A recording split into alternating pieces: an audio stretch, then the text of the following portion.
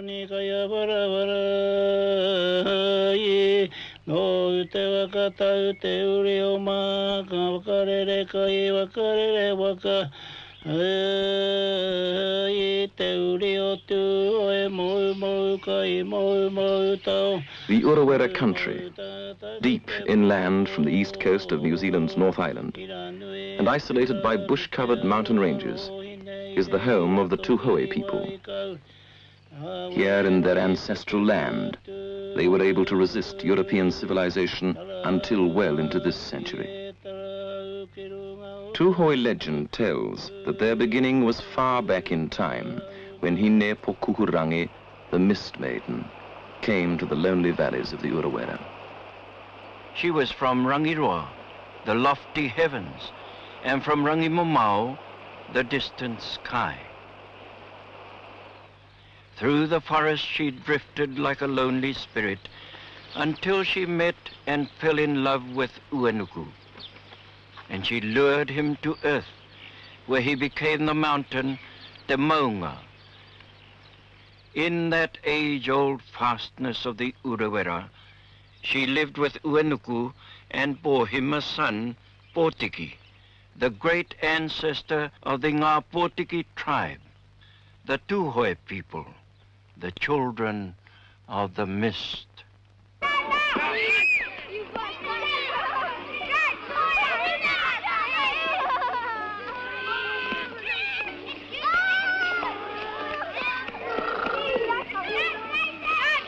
The Tuhoe children today are growing up between the traditions and customs which give their small tribe its identity and the pressures and demands of the modern world. Demands they'll have to come to terms with when they leave their kohanga or nest for the towns and cities. Tuhoe, not being a tribe as forward as the others, it's taken them a long, long time really to grasp those skills and tools of the European way of life and to adapt themselves into our modern society.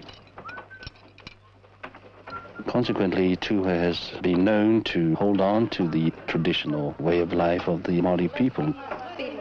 Just the same, Ruatahuna, the largest settlement in the Ureweras, with a population of just over 400, now has many of the advantages of the welfare state.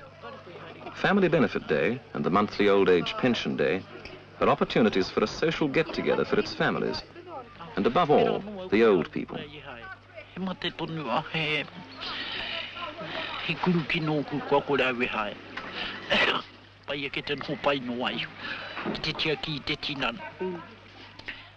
It'll be the pensioners that'll always be here. That would be the older people. I don't think they'll ever leave Ruatahuna.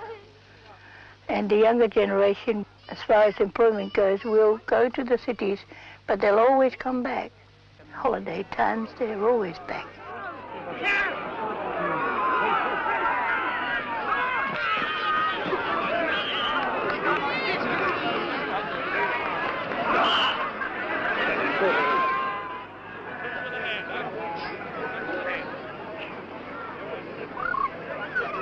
A hard, demanding game comes easily to men who hunt deer, work in the local sawmill, or fell and haul native timber from the surrounding forest. The logs, mostly rimu, are brought to the local mill in the Ruatahuna Valley, which provides work for most of the men in the settlement.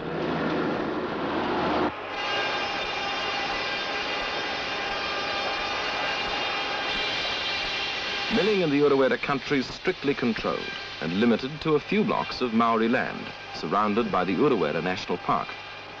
Wholesale felling would lead to disastrous erosion, and therefore the future for native timbers limited here.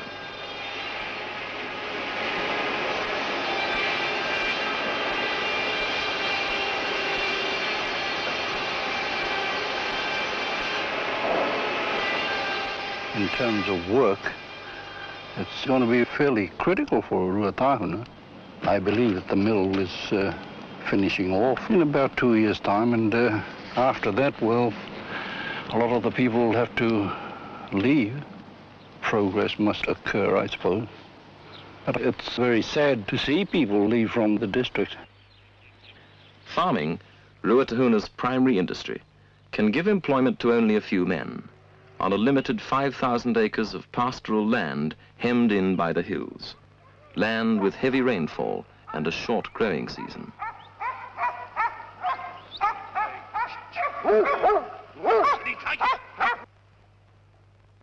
Uh, apart from the possibility of developing tourism and hunting, there's very little else for the people to do here. So they would have to rely heavily upon what's in the Ruatahuna area itself and the bush for their total income.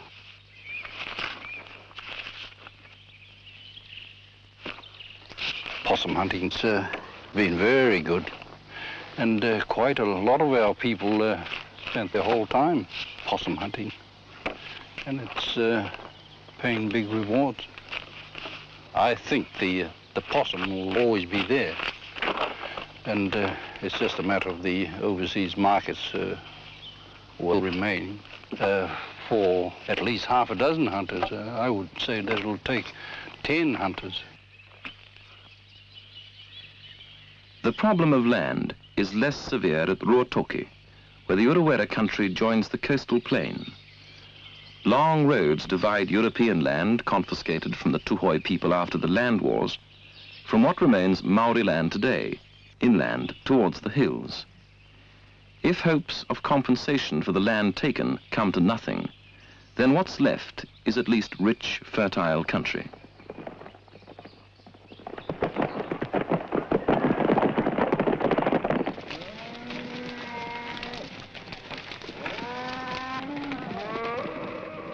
Dairy farming's possible here, for there's good access to the coast and nearby towns.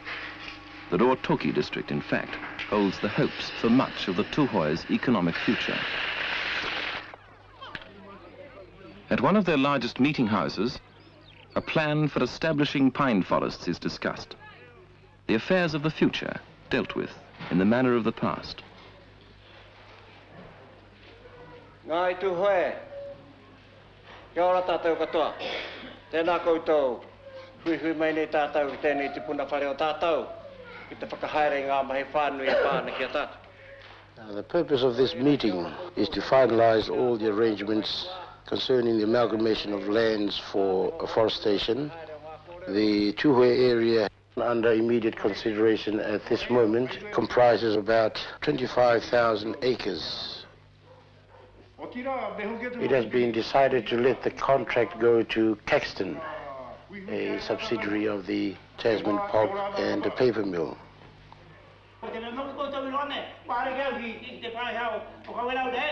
Uh, it has been written into the agreement with Caxton that when the project has been going for some time that Caxton would hand the project back to the people and the revenue will be coming back to the Tuhoe people, probably channeled through the Tuhoe Trust Board.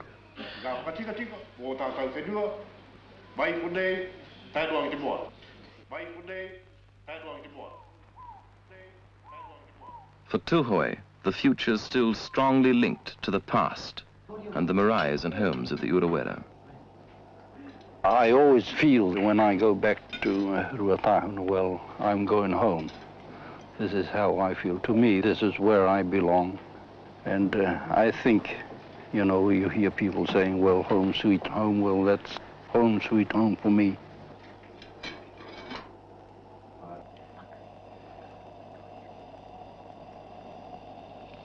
Where's Tuhoe today? They're all over the country now. Oh, some climbing over the other side of the world. But that nest, still there.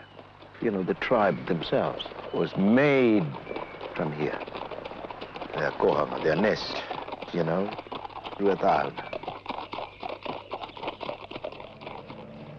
With only a primary school in the district, the young people must leave to finish their education in a city or at boarding schools. As far as I'm concerned, it's a good thing that our children are going away to boarding schools because then they learn what other people are doing outside of Ruatahuna. We're very much aware of the importance of education for our children, and so they must leave the district to go to these schools. And uh, of course, for most of them, that's the beginning of their migration. As soon as they finish school, well, they get a job in some town, and uh, the only time that we see them is school holidays or Christmas holidays. Before, you see, the land was the thing. But of course, uh, the areas of land now being reduced and the population getting larger, well, they have to get out into something else. And more and more each year, only the old and the very young are left in the villages of the homeland.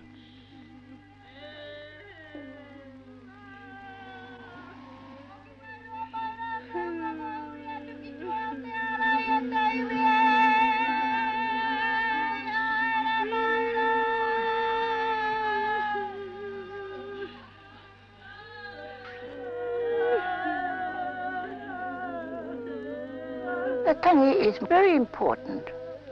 I mean, this is when we show our sorrow and all our feelings, both to the one that has died and to the close relatives. And this is a way of expressing feelings between the relatives. And this is part of Māoritanga.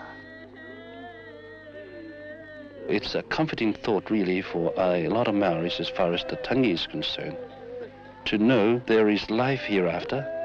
They are not going to be left alone when they leave this world. You hear our people saying you are going to the land afar, you are going to meet your folks, and they mention those who have passed away in recent days or in recent months. And to us, this is one of the important uh, parts of the Tangi in our way of life.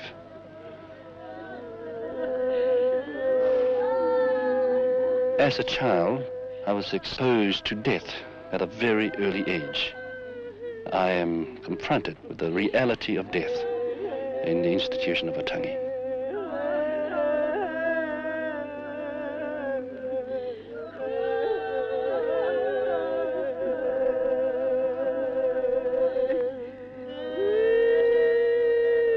The Tangi is a focal point of Maori tradition, where ancestors are honored and elders deeply respected. It brings the people together, and it's a reminder to them of who they are and who their forebears are.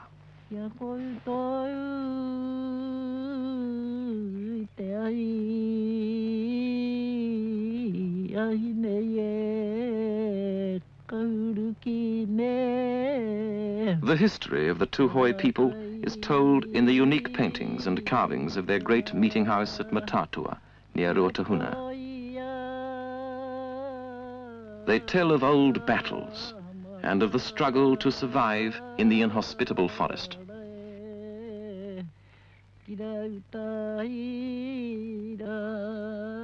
Carvings record the long story of the Tuhoe and their links with other tribes.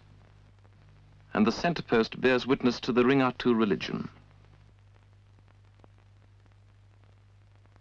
Te Kooti, an escaped rebel, took the traditional faith of the people and combined it with the teaching of Christian missionaries to establish his new faith in the Ureweras.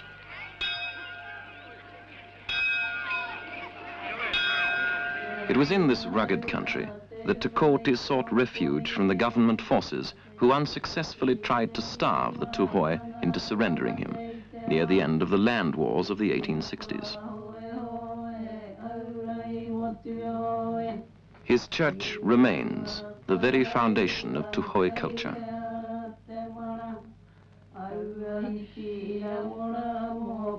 Te Kooti gave a religious meaning to a way of life needed at a particular time.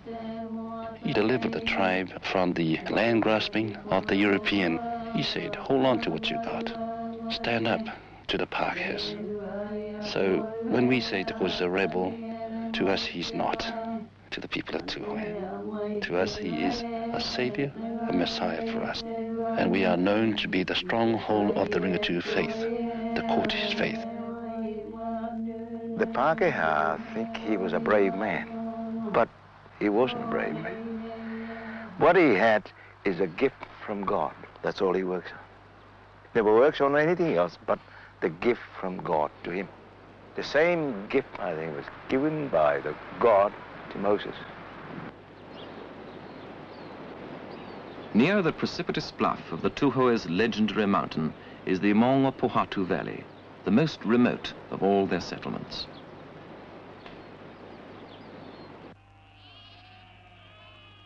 A modern farm, hampered by its isolation, gives employment to two or three people, where once there lived a community of more than a thousand, led by the prophet Rua. Rua, who believed himself divine, was a disciple of Te Kooti and a born leader. And although in the early 1900s Maunga Pohatu was a long journey from the nearest road, it was still a highly organized and thriving community. The people look upon him as history, you know, somebody to look up to, like a hero, I suppose you could call it. Even my grandfather, he always used to talk about Rua as a great man. But not everybody felt the same. And in 1916, a force of 60 armed constabulary and men tramped into the Ureweras to arrest him on a trumped-up charge of breaking the liquor laws. For the government, preoccupied with the struggle against Germany, was annoyed at Rua's refusal to allow his followers to enlist for the war.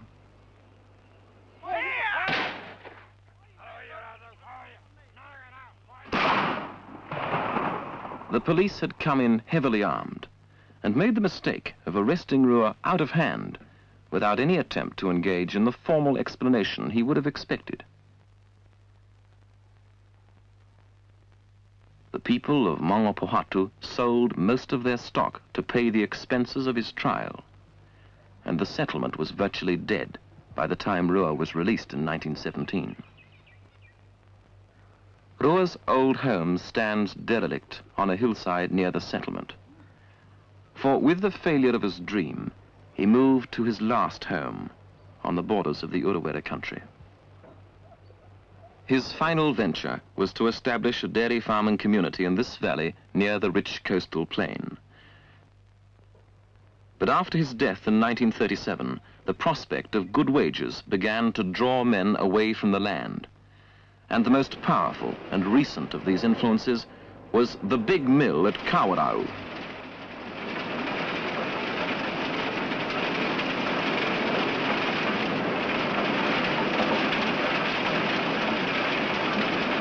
The Tasman Pulp and Paper Company's mill at Kawerau has a workforce of 1,700, and of the large number of Maoris employed, many are Tūhoe.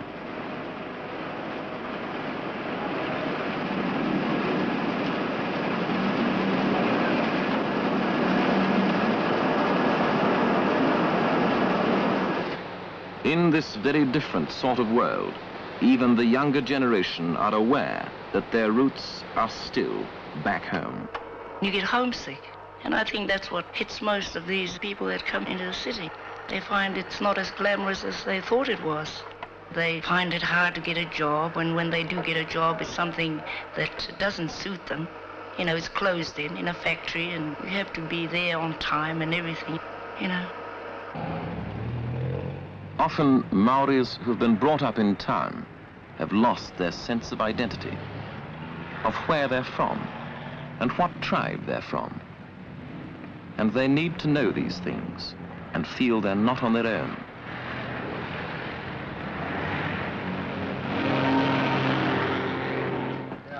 It's the only way that they can feel secure is by either going to a pub, going to a meeting place, and immediately they look around for each other.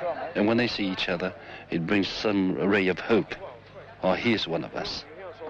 Maoris and Pacific Islanders have tended to concentrate in certain parts of Auckland, the city with the largest Polynesian population in the world.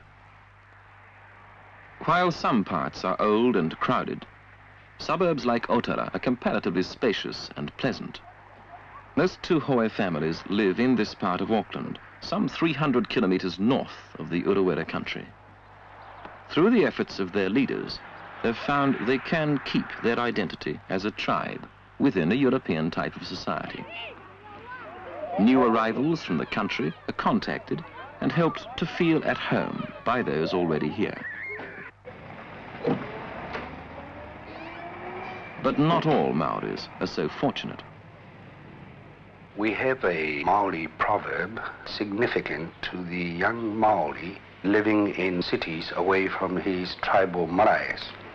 And the proverb is, if you watch a cloud drifting by, from the edges you will see small pieces breaking away, and eventually they'll disappear into nothing. It means if you remain with the main body of the tribe, you won't lose your identity. But if you drift away, you are in danger of doing so. In an effort to help young Maoris and Polynesians in Auckland, a special force called J-Team has been set up. Each crew consisting of a social worker, a clergyman, and a special duties policeman. The first reaction of young people coming into the city is probably one of bewilderment. Maoris get homesick. They're very unsure. They're not used to the nightlife that's available. They are not used to the amount of people in quantity, but they learn very quick. And unfortunately, I believe they learn the wrong things first. In fact, we did a special survey just to see what was available for young people, and it was nil. So we went about discussing and finding ways and means to provide facilities.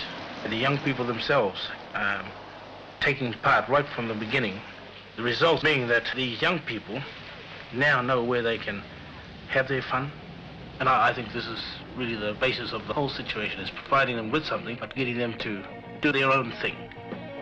If you're wanting something new and you don't know just what to do,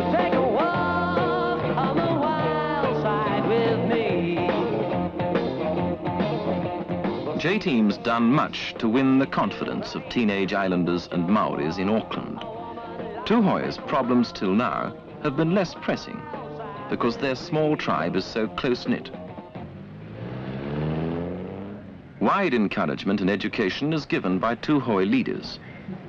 At Auckland University, Jimmy Milroy, married with five children, is being wholly supported by the Tuhoe tribe's trust board while working towards a law degree.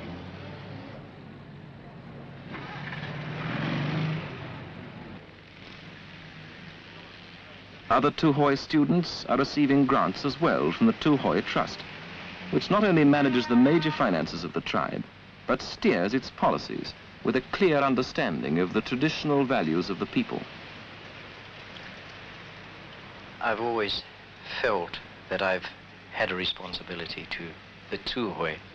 A lot of them are still speaking Maori, and I think it's easier to discuss matters in their own language than to try and explain it in English. Tuhoe people, to my way of thinking, are only just beginning to find out all the complexities of this modern world, and I think things are happening so quickly, both economically and technologically, that um, there is a definite need for trained Maori personnel, and I think particularly from their own area, to be involved in assisting them meet all these problems they're going to come up against. I o mātou whakaaro, ino anu ki te ino tō mātou kai whakaora oihu kreiti. Amen. The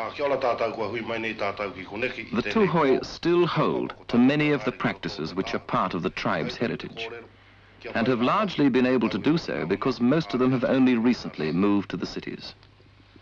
Whether in Wellington or Auckland, meetings are held the way these things have always been done, with a desire to keep their customs alive.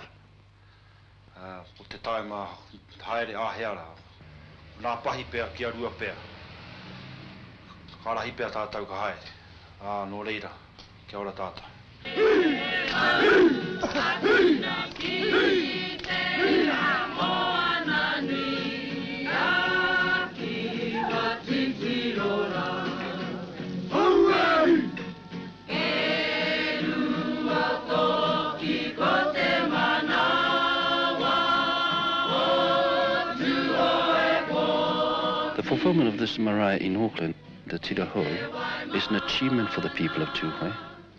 It has established their identity in Auckland. It is a reminder for them when they see and hear their elders speak on the marae in Auckland here that they have their own meeting house, that they have their own land, and it is a meeting place for their people. Although Tuhoe are finding answers to the problems of living in the city, they still feel the need to return each year to one of the homeland maraes for renewal of their Māoritanga. The Tuhoe Festival, on this occasion at Ruatoki, has been held for several years.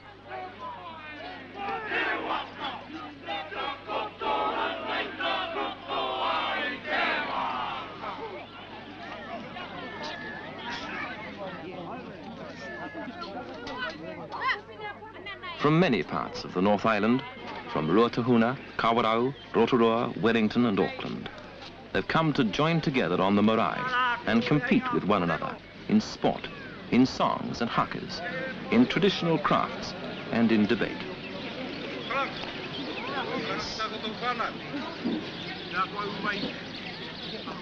I think the festival, it's a great thing because of the feeling between the people, between the young and the old. And it helps teach the, the younger generation the traditions of the Tuhoe.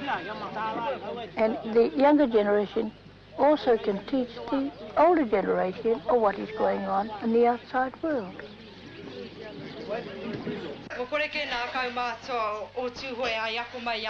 The subject of the debate by the young people is whether or not the younger Tuhoe should manage the affairs of the tribe.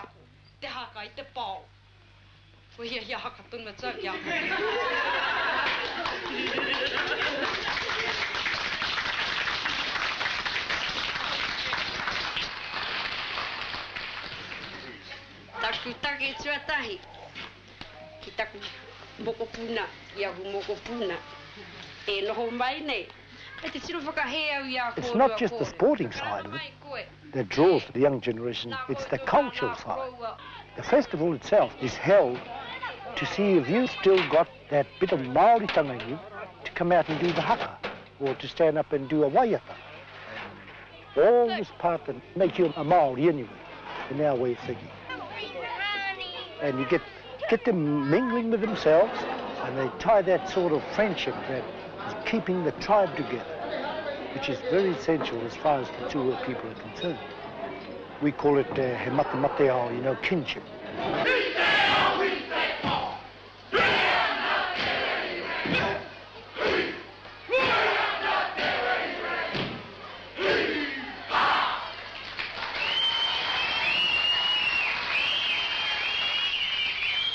As in the debate, the competing teams are judged on their efforts.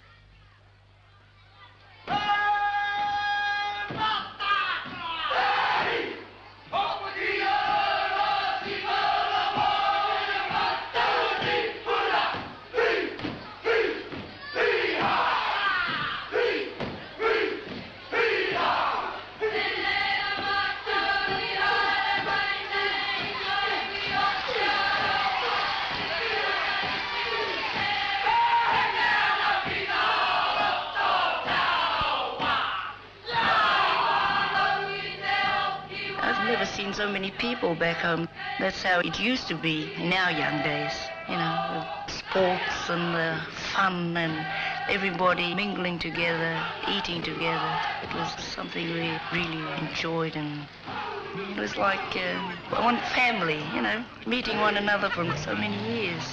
And uh, it was just great. Your whole heritage is related to the land of your birth. They say this is where your forebears used to talk, and this is where they spilled blood, and this is where they raised dust. You can travel the whole world if you like, but you've got your heritage back here. You've got your legends, you've got your mountains, you've got your rivers, and it's your land.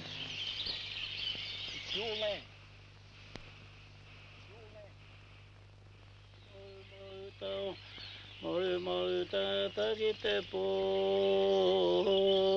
I ra nui atu rā ki te aroa rohi nei re i ra tokiri riwa i kau Awe wero i patu patu Tara au ngā iwi e tara au ki runga o tangitu Uh...